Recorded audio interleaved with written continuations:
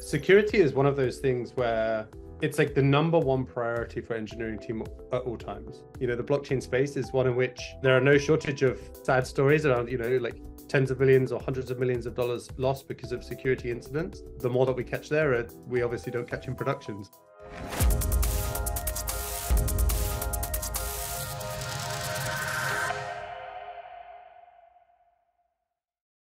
Hey guys, you're watching Halborn Flash Videos, and today we are talking to Anthony from Matter Labs. Anthony, welcome to the Flash Video, and tell us a little bit about yourself. Where are you joining us from? Yeah, thank you uh, for having me. Great to be here and looking forward to chatting. Uh, joining from Matter Labs, the company behind ZK Sync. Um, yeah, we've had an exciting few weeks and obviously been working with Halborn as part of that, and uh, very happy to get into the weeds of it with you. Perfect. Thanks so much for joining us again. And what is Matter Labs all about? Um, what's the origin story there? Yeah, so Matter Labs is the team behind, uh, I guess, two products at this point. One known as ZK Sync Lite, which actually was uh, previously called ZK Sync V1, and uh, more recently, uh, we've had a launch of our major platform, which I, uh, I would call it like this is ZK Sync Era. These are layer two scaling solutions for Ethereum using zero knowledge, ZK rollups. ZK Sync Era is a general purpose execution environment. It's a ZK EVM. So the idea is that we are big Ethereum enthusiasts, but there's an obvious problem to solve for the blockchain. Right? When it when it comes to Ethereum, the average of like of the order of 15 transactions per second, it just isn't sufficient if we're sort of really talking about, you know, a world in which, you know, hundreds of thousands of millions of people are really, you know, using applications built on the blockchain. Uh, so for us, scalability is is the problem that we're looking to solve, and and we do this using uh, zero knowledge proofs. Okay, great. So zero knowledge proof. The minute you mention it, I feel like this is something everybody is talking about and very few really know what it is all about. So help us de- uncomplicate this a bit and maybe explain in very simple terms how do I understand this? Yeah. Um, so the idea behind them really isn't so much. I think the name is is maybe misleading, right? So it's not really about the zero knowledge piece that we care about. The way that I would say that we think about this is more that they are like a proof of computational integrity.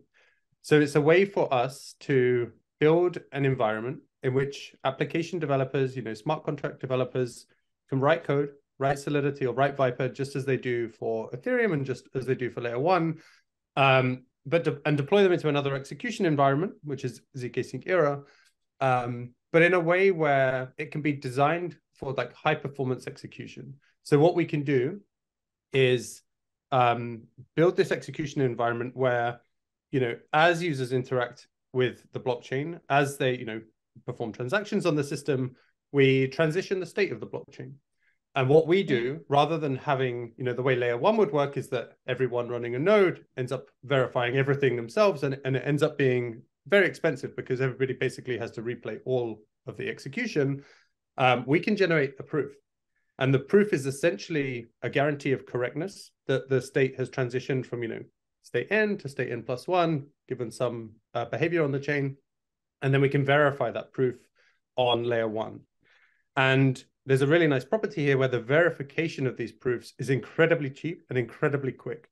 So you're able to guarantee that all of this computational work was done correctly um, with a very succinct proof. And instead, rather than everybody having to, you know, replay every single transaction that happened, they can verify the correctness of those transactions with a very small amount of work relative to the amount of work to actually process, you know, all of this activity. Perfect. Excellent. That definitely helps me picture this a little bit better. And congratulations on the ZK Sync Era public mainnet launch that you did uh, recently. I Thank imagine you. that must have been rather challenging as a process and it must have taken quite a lot. So tell us a bit about the journey and what challenges did you uh, did you face along the way?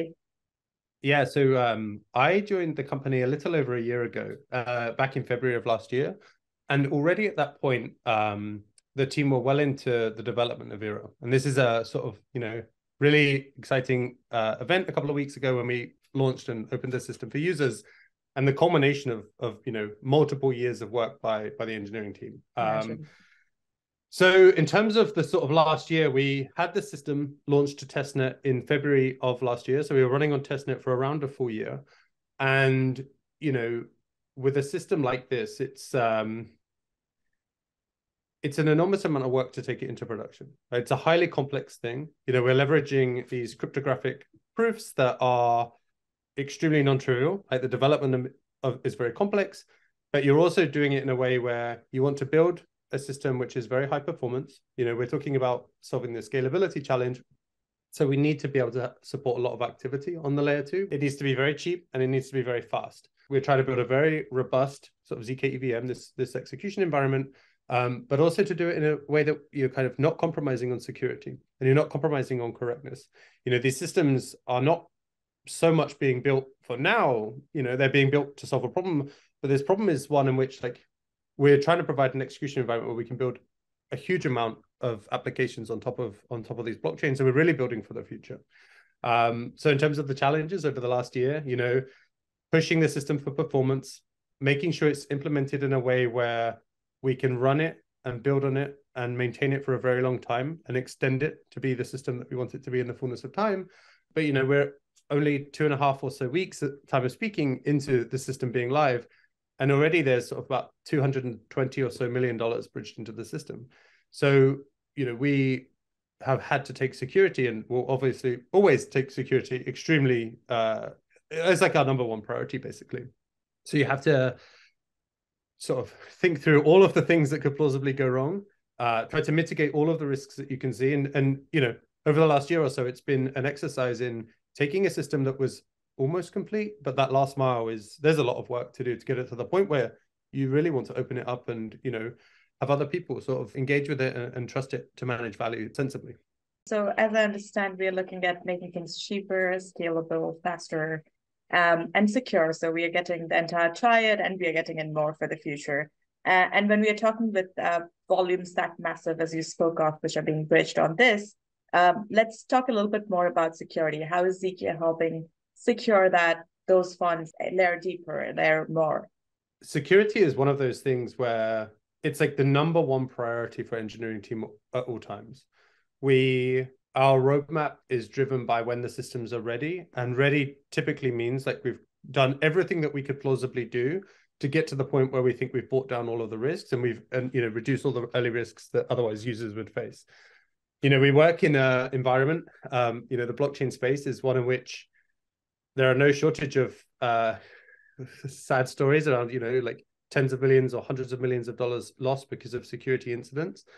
And this is just something that, you know, anyone building these systems has to take very seriously. Otherwise, th- there's just like no probability of success. In terms of how we approach it, there's multiple things I would speak to, but like the general philosophy is around defense in depth. Any layer, no matter how hard you try, like your sort of security approach, is likely going to have holes, right? There are likely going to be vulnerabilities. You know, the history of software is is not uh, one in which like people are good at writing bug-free software the first time.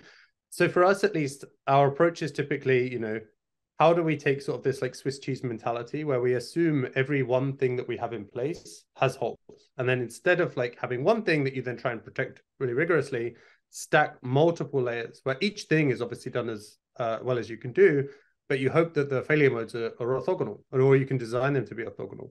So for us, when it comes to security, there are a lot of things that we do internally. As you can imagine, we have a security team. Uh, they are involved from sort of moment one of us designing a feature for the system, or you know, thinking through some change to the architecture.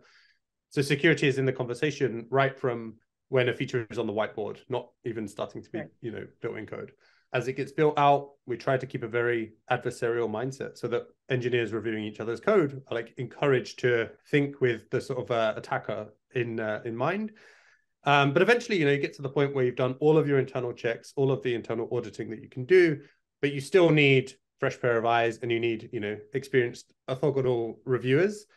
So we work with, you know, partners like Halborn and we do and have done very many uh, extensive rigorous audits to make sure that the system is kind of being reviewed independently. And then we've done, you know, multiple other things. Uh, for example, the entire code base is open source under very permissive license. You know, the more eyes on the system, the better with respect to finding vulnerability. We've run security contests where we've put up um, some amount of value, and security researchers can come and you know review the contracts or review the piece of code and you know uh, we pay out prizes based on the findings. Um, and then even if you do all of these things, you know you kind of still want to keep a paranoid mindset. Uh, so we have a very generous bug bounty. I think it stands at around 1.1 million dollars for a critical issue today. For Era, on ZK Sync Lite, our previous system, we've got a multi-million dollar bug bounty. Um, and again, this is just the start for us. You know, Era is still in this alpha state right now. We are still only a few weeks in. We have got a, a huge amount more that we'll be doing and, and, rolling out in the coming weeks and months as we, you know, really harden the security and um, really like buy down any risk that we can we can reduce. Right. So internal security, um, external auditors, bug bounties, contests, you're pretty much doing uh, it all in terms of security. So that's absolutely fantastic to hear.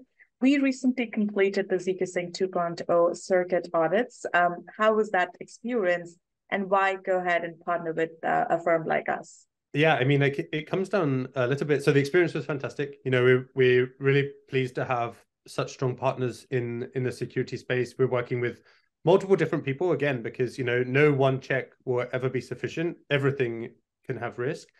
Um, but the experience working with Halborn was great. It was the the first deep external review of our proof system.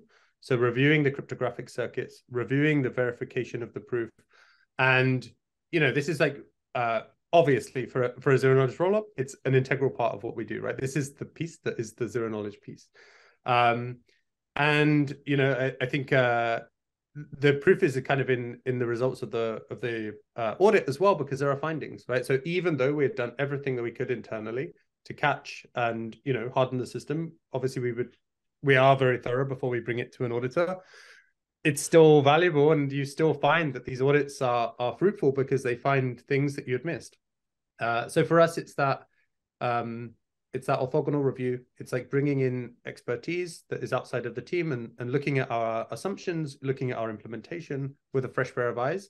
And uh, the more that we catch there, uh, we obviously don't catch in production. So very good to find these things before. Uh, and, and, you know, this was one of the last checks for us uh, before we actually were ready to to deploy Era on mainnet for users at least.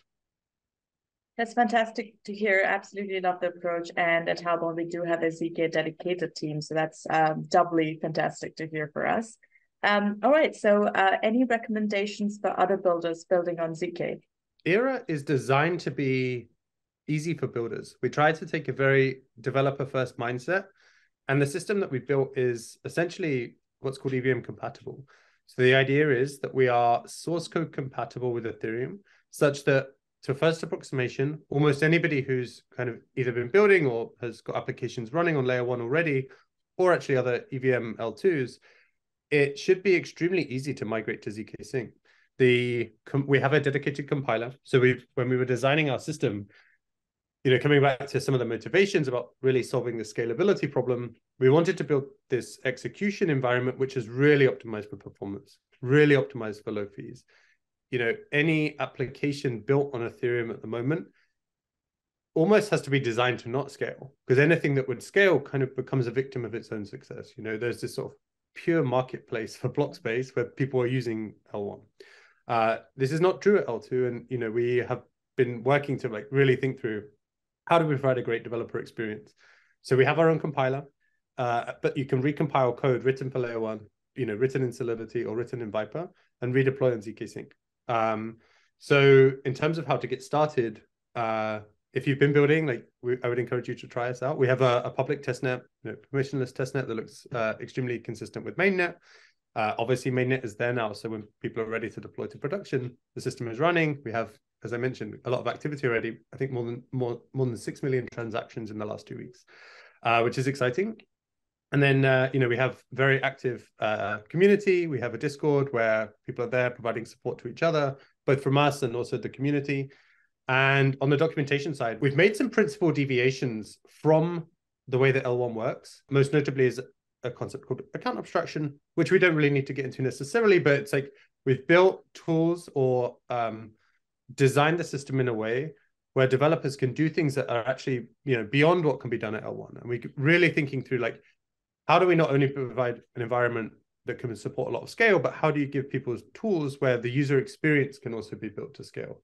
You know, we can start to build smart wallets and you can start to build applications that don't have as much friction as I think many of us in the blockchain world have kind of come to accept and live with when when working with most layer ones.